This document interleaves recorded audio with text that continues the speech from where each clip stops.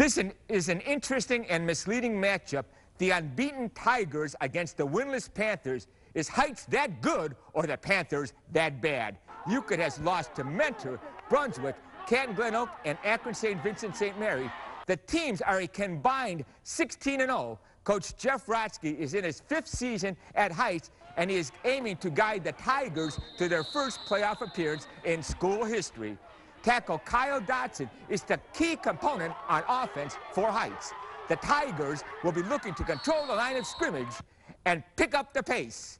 Euclid needs to take care of the football, and the Panthers are capable of putting points on the scoreboard.